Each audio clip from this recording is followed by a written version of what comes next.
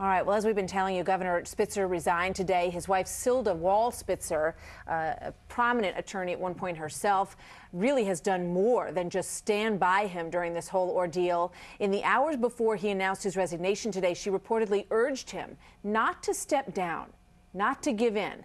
That, according to a New York Times report today. Silda Spitzer is, of course, not the first political wife to show loyalty during a sex scandal, but her decision to stand by her husband is sparking some very strong reactions today. The couple have been married since 1987. They have three teenage daughters. So, where do they go from here?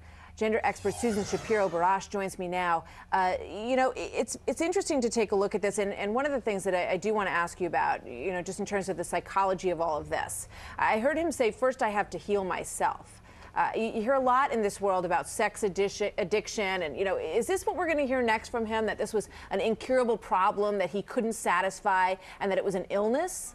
Well, whatever he does say, what matters so much now is what his wife does and how his daughters feel because it's been so difficult for them. They've really been victimized by this whole ordeal so what do you think is the next step? How do you heal a family? We've seen a lot of this play out in a very high profile way many times over. How do you begin, especially when all the cameras are gone and it's just you guys, you know, sitting around the house looking at each other? Well, the greater good theory really has to prevail and his wife really has to say to herself, I forgive you and I can trust you again.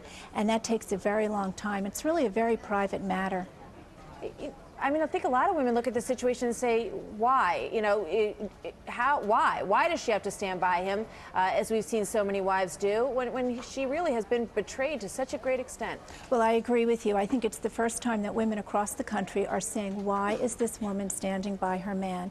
And why, when it's so difficult for her, and his rise to power and his descent really is something that she has been on the, you know, she's been there all along, and now she's really suffering for it. It's demoralizing and yet she's there.